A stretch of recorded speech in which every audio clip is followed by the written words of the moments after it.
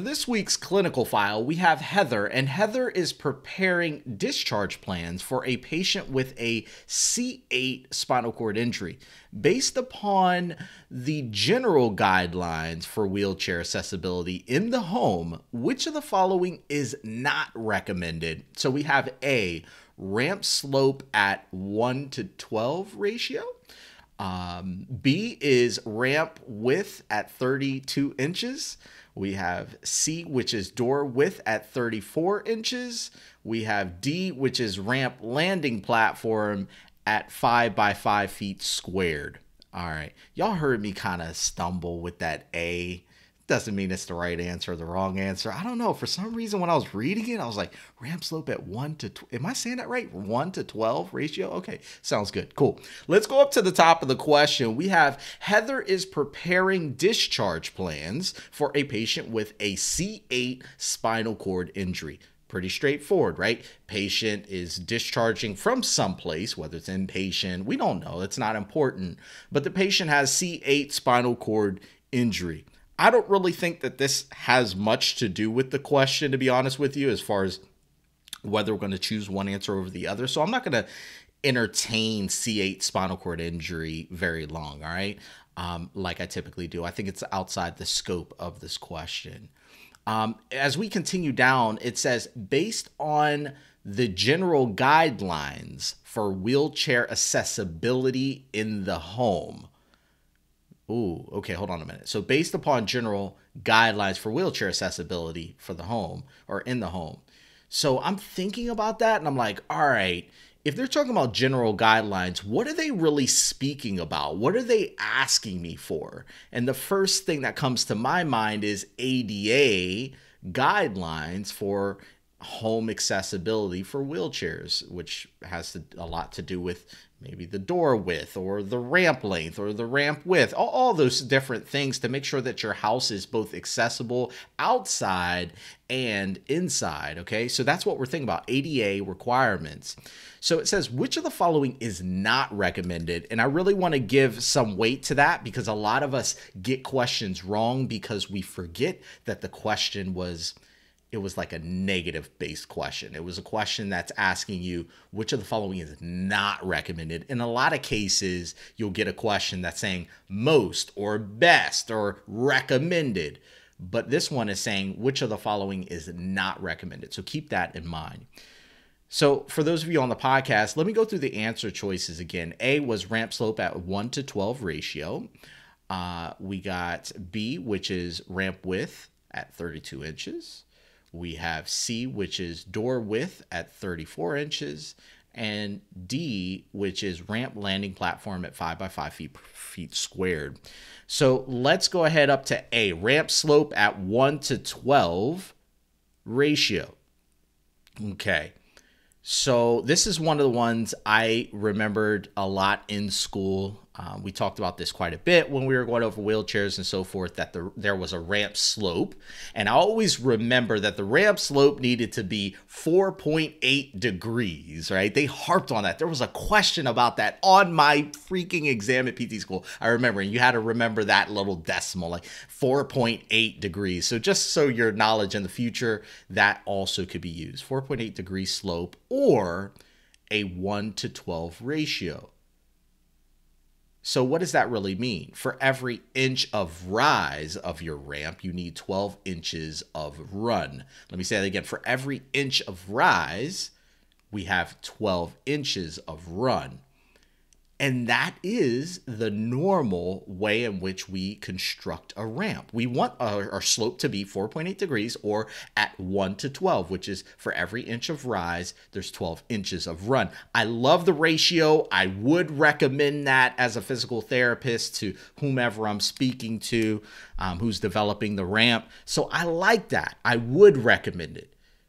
Remember, the question is saying which of the following would you not recommend? So I'm going to go ahead and put an X next to it because I would recommend. Okay.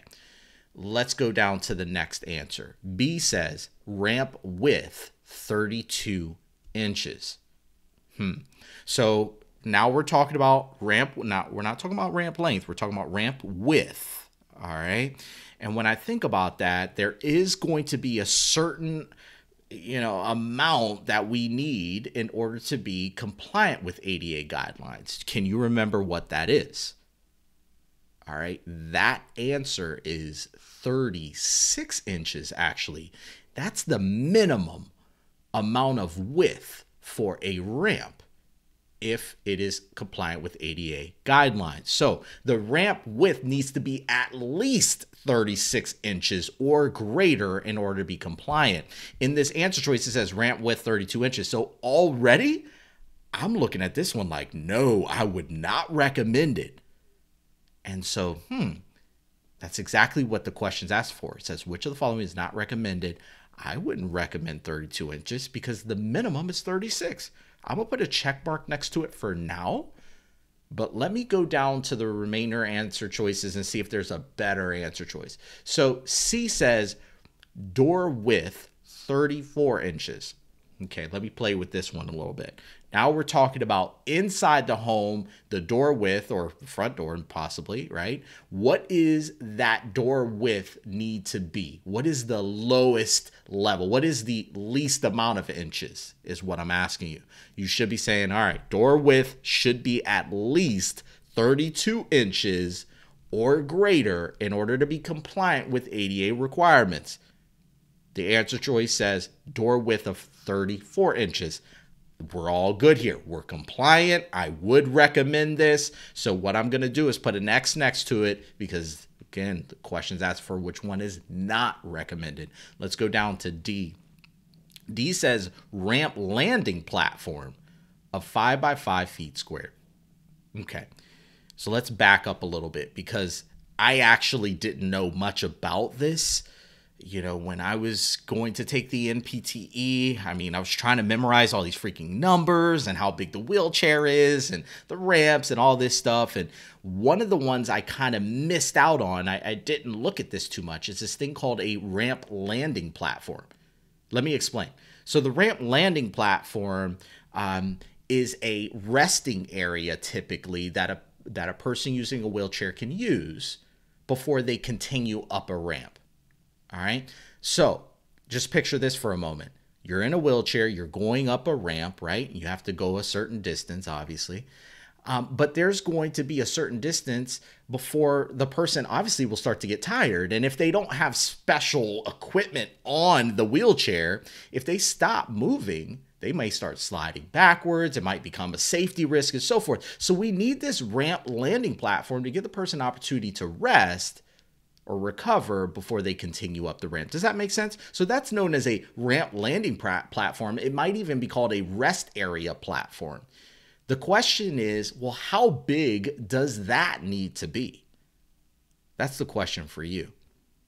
And so, what I want you to put down in your notes right now is that having a platform that's 60 inches by 60 inches or 5 by 5 feet, that's the same thing, same thing. If you convert inches to feet or feet to inches, it's either 60 inches by 60 inches or it's five feet by five feet. You want five feet of length, five feet of width. That gives you the five by five feet squared.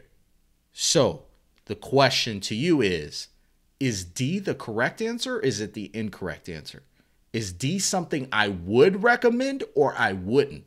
Let me read it to you again. It says ramp landing platform at five by five feet squared. The answer to that is yes, I would recommend this. However, the question's asking, what would I not recommend? So, what I'm going to do is I'm going to go ahead and put an X next to D because that can't possibly be the right answer. So I go up and down looking at the most likely answer, and I'm left with B as in boy, ramp width of 32 inches. Congratulations to those of you who got this question correct. This is obviously one of those numbered ones. Um, and when I say that, I'm talking about the ones that have just a bunch of numbers that you got to kind of memorize and so forth. And so it can kind of be tricky. But I'm telling you, the ones that we went over today are so important for you to know about wheelchairs and ramps and so forth. The ramp slope, 4.8 degrees. Don't forget that. It's also for every inch of rise, we got 12 inches of run. also known as the 1 to 12 ratio. We talked about the ramp width and how that needs to be at least 36 inches. It can be greater, but at least 36 inches. All right. Now, door width, we talked about that. A lot of people get hung up and they start saying things like 28 inches or 30 inches. Actually, the minimum door width is 32. So anything more than that is great, but it needs to be 32 at least. And finally, is that ramp landing platform. Hopefully, I gave you a bit of an understanding, more of a, a visual picture as well as I was explaining it as to what a landing platform is. But just remember that 60 inches by 60 inches or 5 by 5 feet. And that is the space that the patient is going to use to rest. There you go. For those of you on the podcast, I don't want to leave you with that. I won't leave you with it. I've created a cheat sheet as a, just a quick reminder of some of these numbers. I added in some basic stuff about the wheelchair and going into the home and those specific things, but I also added in there the information I talked to you all about today with the ramps and specific things you need to know. It would be a great cheat sheet to look at right before, you know, you're going into your NPTE or the days leading up to it just to get that little refresher. So for those of you on the podcast, whether you're on iTunes, Spotify, wherever you're at right now, go into the show notes, click the link in there, and you can get it.